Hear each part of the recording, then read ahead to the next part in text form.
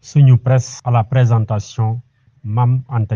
Bonjour. Le prêt de 166 milliards accordé par le Fonds monétaire international au Sénégal dans le cadre de son programme économique et financier, l'immigration irrégulière et l'alerte sur l'état de santé d'Ousmane Sonko sont les sujets traités par les quotidiens de ce mercredi. 166 milliards de francs CFA du FMI au Sénégal affiche à sa une le soleil qui signale que le Sénégal s'attend à recevoir ce financement avant la clôture des opérations financières de l'année 2023. Un accord de principe allant dans ce sens a été conclu à l'issue d'une mission du fonds dirigée par Edouard Genaël, mentionne le journal. L'annonce a été faite mardi au cours d'une conférence de presse conjointe entre le chef de mission du FMI Edouard Genaël et le ministre sénégalais des Finances et du Budget, Mamadou Mustafa Ba. Dans une situation économique plutôt tendue, le Sénégal garde la confiance de ce partenaire stratégique qu'est le, le Fonds monétaire international, note le journal Enquête en titrant Le Sénégal décroche 166 milliards de francs CFA.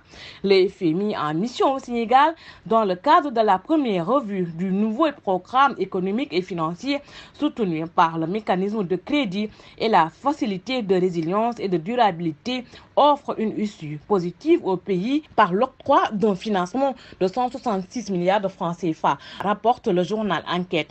Concernant la croissance économique, les FMI baissent la note du Sénégal, souligne le journal Bosby le jour, soulignant au passage que la croissance économique est revue à la baisse de 5,3% à 4,1% selon Vox Populi. Le retard de l'exploitation des hydrocarbures plombe la croissance initialement fixée à 10,6% avec 4,1% en 2023 et 8,5% en 2024. La croissance du Sénégal au-dessus au des moyennes respectives de 3,3% et 4% des 48 pays d'Afrique subsaharienne, explique le journal relevant que la, relevant que la croissance au Sénégal est toujours atteint le taux d'avant la pandémie de Covid-19 et les différentes crises.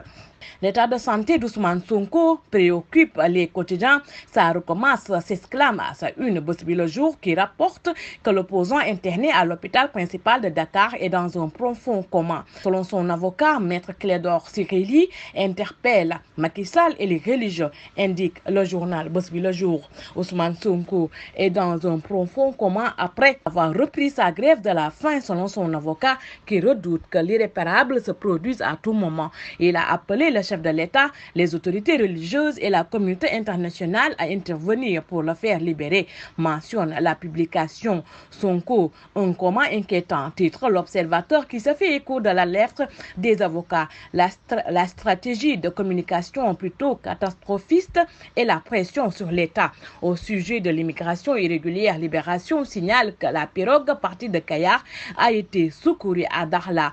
Elle avait à son bord 128 personnes dont une de mineurs, 21 femmes et deux bébés.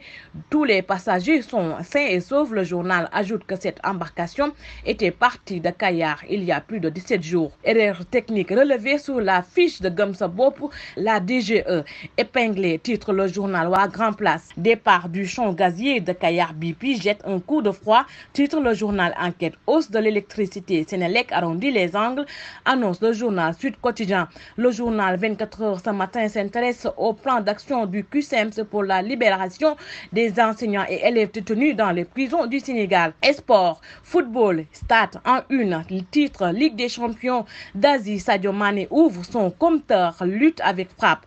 Domo Pikine célèbre et mystique Ama Baldé, le fils du lion, titre le journal Sunulam. Bonne lecture et bonne journée. Une presse vous a été offert par l'Agence sénégalaise de la reforestation et de la Grande Muraille Verte.